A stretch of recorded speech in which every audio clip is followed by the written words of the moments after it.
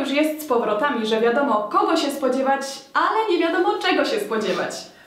Niezłe, co? Wymyśliłam to wczoraj. Domyślacie się zapewne o czym, a raczej o kim chciałabym wam dzisiaj opowiedzieć. Mamy rok 1816 i...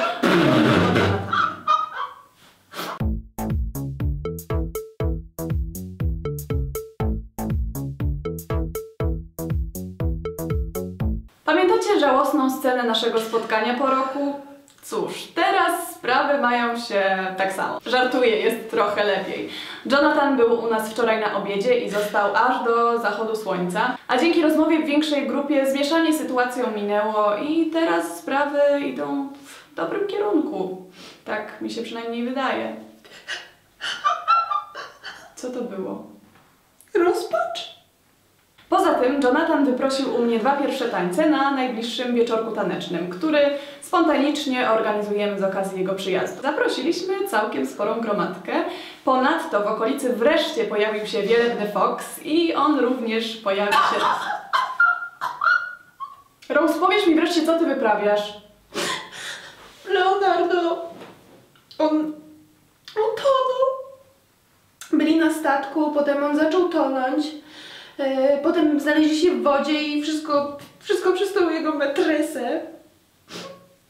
Nie chciała się przesunąć i on po prostu utonął. Moje kondolencje, bardzo mi przykro. Naprawdę? Tak.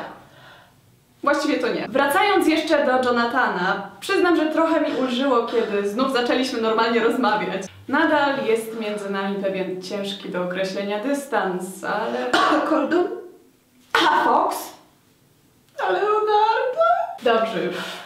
Było bardzo zabawnie obserwować Cię w takim stanie, ale co za dużo to niezdrowo. K kazała Ci przekazać, że Leonardo żyje i ma się bardzo dobrze, a to wszystko nie działo się naprawdę. Kłamiesz. Próbujesz. Widzisz? Kilkanaście lat starszy, ale Leonardo. A więc udało im się go odratować? Nawet nie wiesz, jak się cieszę. Tak okropnie wyglądam w czerni i bałam się, że będę musiała w niej chodzić na co dzień. Dobrze, że to zauważyłaś, bo strasznie nie chciałam Ci tego mówić, ale wyglądasz tak tragicznie.